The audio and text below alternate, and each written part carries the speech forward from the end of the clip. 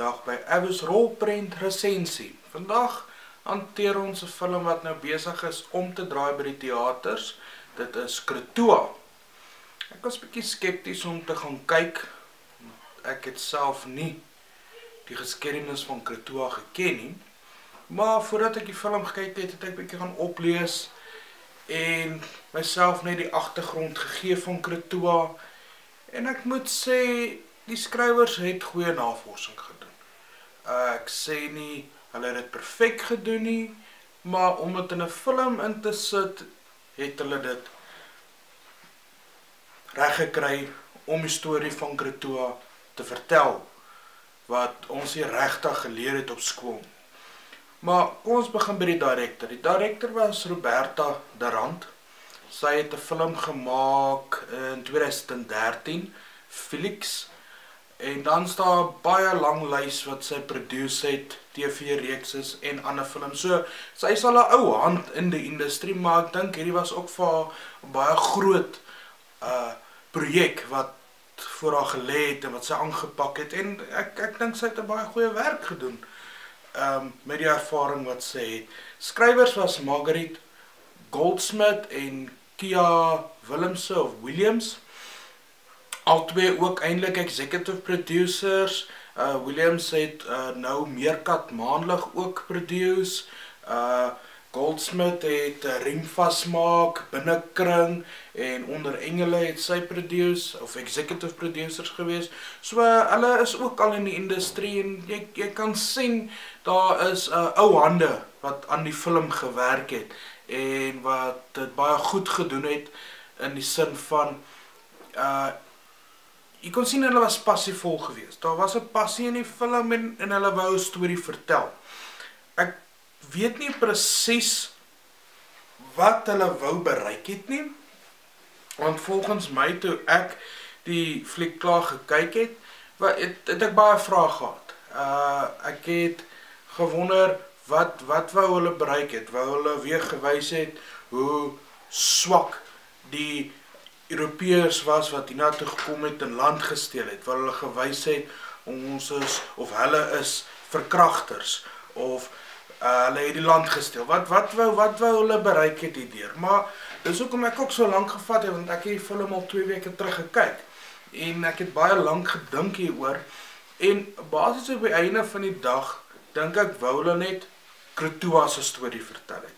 Wie is Kretoa? Waar kom sy vandaan en hoe groot rol het sy eintlik in die land Suid-Afrika se geskiedenis gespeel?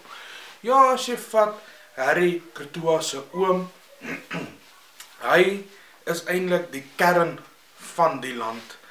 Uh hy het kom ons sê dit so, hy het begin om die local Celtics daar op Kaappunt te begin. Dit dit was sy werk. Nou, die skep het afgekom van Europa af. Hulle het gepaak daarso by Kaapstad of by Kaappunt. Daai hoekie daarso, bietjie van afgeklim daar, groentetjies geëet, vleis gekry, tentenien gedrink en gekuier. Mense is mense, so ons weet nie presies wat alles daar gebeur het nie. Teruggeklim op die skip weer met die Spice Route India toe en natuurlik weer terug. So daar was baie traffic heen en weer so. Dis nie van dat Jan van Riebeeck aangekom het by die Kaap en hallo, hierso is 'n kooi. My naam is Harry. Uh kom ons begin onderhand. Nee, dit dit was 'n lang storie voordat Jan van Riebeeck hier aangekom het. So daar's baie stories wat eintlik vertel kan word wat daai tyd gebeur het, die 1500s en die 1600s of selfs die 1400s ons weet nie presies hoe ver dit teruggaan nie. Dalk ek sien nie 'n uh, historiese wat alles ken op geskiedenis nie, maar dit baie goed gebeur wat ons nie van weet nie en wat nie in ons geskiedenisboeke was nie. So ek voel Roberto het Roberta, jammer, het eintlik uitgekom sê, hoor jy mense, kom ons vat Kretoa se storie en ons vertel net 'n bietjie vir die mense daar. En as jy op daai punt gaan, dan was dit 'n goeie film regtig as jy op daai punt gaan, ons kykie na Jan van Riebeeck se storie, net die 10 jaar wat hy was, en onthou hy was maar net 10 jaar in Suid-Afrika gewees. Dit is sy hele lewe lank hier gewees nie. So as jy net fokus op Kretoa en haar lewe, baie goeie film. Ek voel daarso het hulle 'n mooi storie vir ons bymekaar gesit en uitgetrek. Maar ek sê jy kan eintlik so ver en diep in die storie ingaan as jy vat vir Harry die strandlopers as boeke geskryf vir hom. Jy kan gaan lees daarvan sy reis na Indonesië toe, Indië waar hy geleer het om Frans en Engels en Portugees te praat, terug te kom, die hele ehm um, begin het met verkoop en en uh, geld maak en ook sê hy het local Celtics geran en Jan van Riebeeck is basies afgestuur om 'n ultrashell op te maak. So daar was eintlik maar kompetisie van die begin af. En die hele ding is julle sal ook sien in die film kom die saak weer voor, hoorie, ek gee jou 'n bietjie tabak, ek gee jou 'n koppie en ek gee jou 'n millie en ek soek 20 beeste. Jy weet, die reiling, dit dit was daai tyd ongelukkig so dat die VOC, kom ons sê VOC, te gedink het hulle kan dit kan die Khoisan indoen. So basies met daai gedeelte het die oorlog eintlik half en half begin of die bekleierery begin want Harry was nie dom nie. Punt, hy was nie dom nie, hy het geleer. Maar wag, kom ons gaan terug na Kretoa. Ek het nou lekker lank daar vasgesit. Die cinematography was Greg Himan. Ook baie TV-reekse gedoen en baie dokumentaries gedoen. Ek moet vir hom sê, baie goeie werk Greg. Ek kon gesien het, hulle het moeite ingesit. Die kleure was mooi, die beligting was mooi, kamerawerk was mooi geskiet. Perfek. Daar was nie 'n probleem gewees nie. Editor Marike Kreer ook op Felix gewerk daai tyd in 2013 en sy het op Vloeksteen gewerk ook wat 'n TV-reeks was as ek mooi kon onthou maar as ek terugkom. Dan die art directing en set design was Edward Liebenberg. Nou kyk hier. Edward baie goeie werk. Goeie werk. Die kasteel of die fort wat hulle daai tyd gebou het, dit het gelyk of dit daar staan. Daar was nie ander goed regtig nodig gewees nie, want dit is al wat daar was. Um klein unieke muurtjies wat gebou was, uh stalle gebou, houthek, kraal met met pale, plein plein plein en ek glo dis so dit daai tyd was. 10 20 tree van die fort af, land, see, niks anders en jy sien nie 'n kar nie. Daar het nie per ongelukke Volkswagen verby gery nie. Weet julle, jy sê directing was mooi geweest self op Robben Eiland, die tronktoneel wat hulle daar gedoen het. En so gesê het van Robben Eiland, baie mense weet dit dalk nie, maar Harry was die eerste gevangenes op Robben Eiland geweest. En tot vandag toe is hy en weet meeste mense wat dink weet ons net van hom wat van Robben Eiland ontsnap het en dit veilig weer teruggemaak het. En toe hy het teruggemaak het, het besluit die VOC, weet jy wat? Jy is beter hier vir onderhandeling. Bly maar hier, ons gaan nie meer Robben Eiland toe stuur nie, maar dit wys net die dubbelstandaarde. Dit is eintlik baie van nie. Maar anyway, terug na Kretoa toe. Sy was verkoop aan Jan van Riebeeck op die ouderdom van 11 om hom te gaan help want sy kon nou Hollands gepraat het en sy kon gehelp het met Maria. Nou die ja, dit dis nou 'n ander ding. Dis die rol van Maria was gespeel deur Ronel dink is Rolien, Ronel, Rolien de Denaal. Sal 'n bietjie daar gaan navorsing doen. Ek dink was Rolien. Uh ons het daar in sy het in skoonheid gespeel saam met Dion Lots. Dis reg. Ja, sy het daarin gespeel. Anyway, sy het ook 'n baie goeie karakter oorgedra as ek haar gesien het en as sy gepraat het. Ek ek glo vas dis hoe Maria was. Sy sien vir Krotoa die eerste keer, sy besluit net daar en dan, dis 'n boskind. Jy moet reg gaan was sy stink en ek gaan nou vir jou godsdiens leer. Weet, daai Khoisan, hulle het hulle geloof gehad. Hulle het aan goed geglo in die natuur. 1400, 1300 hang af hoe lank terug jy wil gaan. 1600 het daai mense nie geweet van ander godsdiens nie. Hier kom Maria en sê vir Krotoa, Krotoa, luister hier Krotoa, jou naam is nou Eva. Krotoa is nie reg nie. Eva is jou naam en jy gaan die Bybel leer. Klaar. Niks van haar goedjies wat sy geleer het in haar kultuur en jy moet alles vergeet, jy gaan nou hierdie manier leer. En dis die groot ding waar Krotoa toe vassit mee is die Hollandse manier en die Khoise manier. En sy het probeer by die Hollands inpas, sy het ingepas, maar dan het sy weggeskuif van die Khoi af en toe sy teruggaan na die Khoi, toe die Hollandse hawe weggestoot. So sy was vasgevang tussen hierdie twee groepe. En ek dink dis waar haar brein gesies het. Julle heeltemal ek dink haar brein het daar gepop want toe het sy nie verstaan meer wat om te doen nie en is ongelooflike druk op daai jong meisie gewees. En dan praat ek nie van die verkrachtings wat met haar gebeur het en almal wat by haar aangelê het en besluite wat sy moes gemaak het en aan wie sy beloof was om te getrou het nie. Julle dis eintlik 'n ongelooflike baie goeie interessante storie en dis hoekom ek sê die ehm um, navorsing en die skryfwerk was baie goed gewees. En ook sê, ek het die film 2 weke terug gekyk en ek dink nog steeds daaraan. So vir my is dit 'n goeie film geskiedenisfilm dit het dit uitgebring. Baie baie goeie fliek daai. Uh kom ons praat 'n bietjie oor die akteurs. Armand Oukamp speel die rol van Jan van Riebeeck uit 'n boekklub, speel hy 'n boekklub, uh Ontwaking en uh Nysna en Belade. Ons ken ken hom al baie goed. Goeie rol vertolk. Ek persoonlik weet nie of dit is hoe Jan van Riebeeck was nie. Dit het vir my gelyk of hy 'n bietjie bietjie sagterder uh hoe kan ek sê 'n uh, 'n teruggetrokke sagte ou mannetjie was wat bietjie onder Kurtua se klere wou intree. Nou ek weet nie of dit Jan was nie, maar weet jy wat? Hy was 10 jaar hier en uiteindelik aangejaag. Dis eintlik wat ek wil sê, maar toe maar, kom ons gaan aan. Dion Lot speel die rol van Rolof de Man baie goed oorgedra. Ek kon gesien het en ek kon weet jy, ek dink dis hoe daai man goed voorgekom het bar kortaf ek hou nie van jou nie ek soek jou beeste hier is jou piering wy ek van die land ek is hier stryd shooter. Dis so die onlots baie goeie rol 10 uit 10 mooi rolvertolking gedoen regtig goed. Dan die film het vir my half en half twee tipes um stories of jy kan hom in die helfte vir my breek en die begin van Jan van Riebeeck en dan die aankoms van uh Wegenaar, Wegenaar wat wat die rol van Marcel van Heerden speel rol van Wegenaar en sy storie hoe hoe hy toe hier aangekom het. So hy die Kroto het vir my twee tipes, daar's daar's 'n eerste part en 'n tweede part vir my en dan die hele lewe van Kroto wat deurgaan.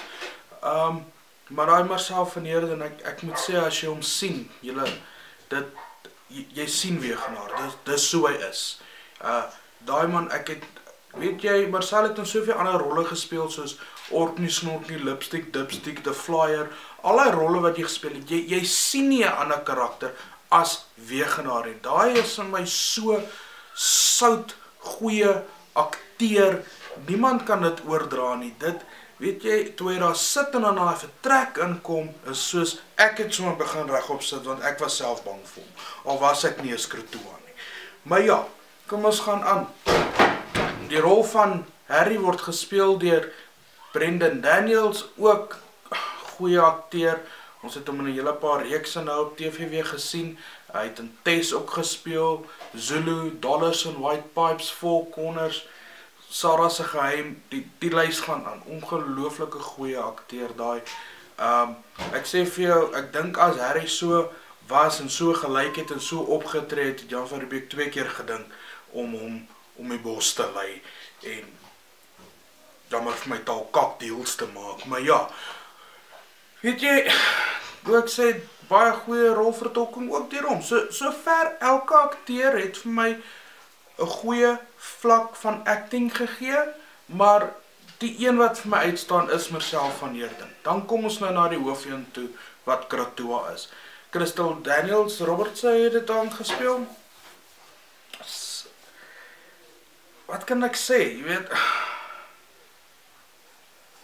As Kratua so sy was, wil ek graag geweet het waar het sy haar tandepasta gekry.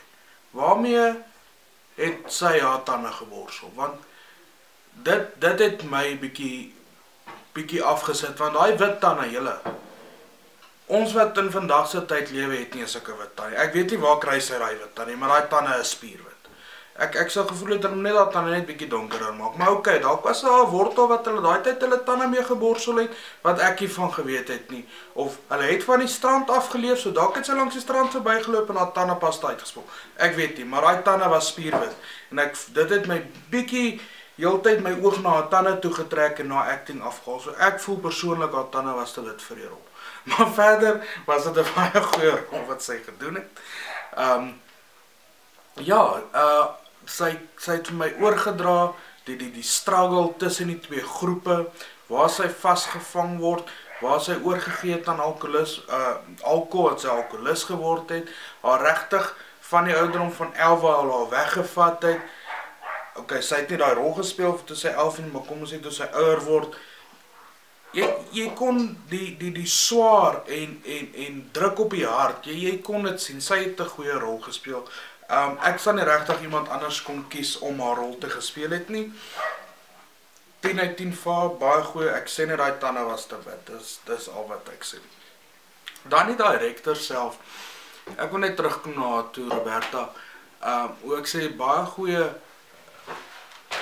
redelik goed. Nie baie goed, redelik goeie directing, maar ek voel sy kon meer uit haar akteurs gekry het. Ek voel nie ek ek voel nie dit is die akteurs se skuld nie. Ek voel net sy kon meer uit die akteurs kry. Ek ek wil ek wil sê as uh, Katinka Heinz se dalk direk het. Ek wil dit nie wegvat van Roberta af nie. Sy het 'n goeie werk gedoen.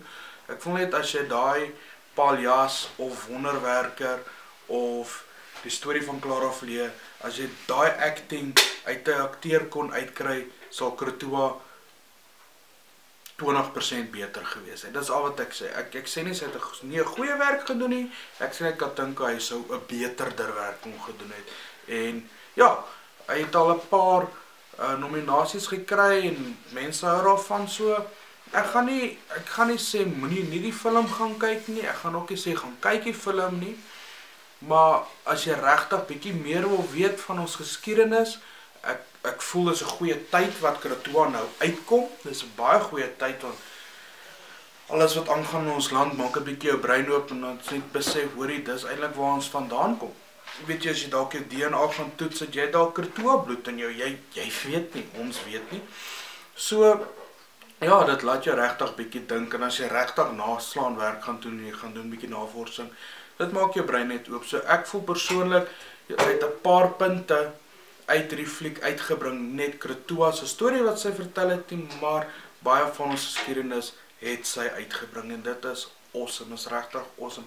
Ek wil die fliek, ek het toe ek die fliek klaar gekyk het en ek sit daar op my stoel en die woordjies kom op en ek lees nou wie wat gedoen. Toe dog ek, ach, weet jy wat? 'n 3 vir jou. Ek gee jou 3 avokados. Dit was oukei. Okay. Dit was 'n oulike film. Maar na die tyd jy begin bietjie sit en jy begin bietjie dink daaroor. Ja, dan is die storie, die storie wat hulle aangevat het en gekyk het, ek sou hom graag 'n 3 en 'n half wou dan gegee het. En dan dink ek, ja, kom ek gee hom 'n 4, 4 avokados, maar ja, maar hy sê vir my 4 avokados werd dit. Dit is net net Marcel van Heerden se se se se spel was baie goed. As ek dit daarop kon gebaseer het dan dan het ek hom 'n 4 gegee. So ek gaan vir julle sê, ek het gesukkel om regtig vir hom 'n graduering te gee, maar ek gaan steek by die gevoel en dis so ek altyd voel as ek 'n film klaar gekyk het en ek voel direk daarna wat my punt is en dit was 3 avos gee ek vir hom 3 avos. Ek gee vir hom 3, dis 'n oulike film, jy kan dan saam met die familie kyk en dan sal hom dalk weer kyk. Ek ek kyk 'n fliek 5, 6 keer oor, ek kyk 'n fliek baie, maar ek dink jy die normale persoon op straat gaan dit meer as 2 keer wil kyk nie. Um jy gaan hom een keer kyk en dalk bietjie gaan lees op Google, maar that's that. So, weet julle, goeie werk. Dankie vir die amazing shots en scenes van die see. Dit was regtig baie mooi geweest. So ek sê die prentjies was mooi, die set directing was mooi. Dalk het Edward Liebenberg bietjie daar op distrik daar en ek weet hy was so standby second unit geweest. Dalk het hy daar 'n paar tips opgetel. Ek moet sê die set directing was baie goed gedoen. Weet julle, 3 avos, maar nie ver van 4 af nie. Gaan kyk die film. As jy hom in teater gaan kyk, gaan kyk hom en dan ondersteun jy ten minste Afrikaanse films. Dis R75. Dinsdae is dit nog bietjie goedkoper. Ek sê gaan ondersteun Suid-Afrikaanse films. Dit is een om te gaan kyk. Anderste koop die DVD, gaan hierom. Maar ondersteun dit. Dit is regtig 'n lekker storie en dis 'n storie wat nie almal van weet nie. En hoe ek sê, kyk hoe lank gesels ek oor hierdie film en dit my regtig laat dink. Lekker dag verder. Sien julle weer.